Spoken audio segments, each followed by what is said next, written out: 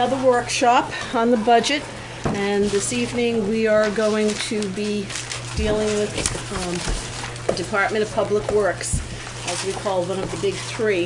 Before we do that, I'd like to go around the table and have everyone introduce themselves, um, starting in Way Corner with Mr. Pierce.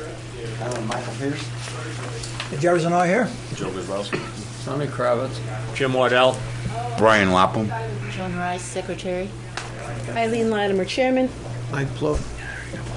Peter LeBranch. Jones. Bob Ladd. Richard Renier. Glenn Farrell. Jamal Loughlin. Dave Wood. My name Keith Noyes, Public Works Director. Chris Jacobs, my deputy. And also we have Teresa McGinnis, my uh, Operations Coordinator. And uh, the other two abandoned me, so. Smart ones.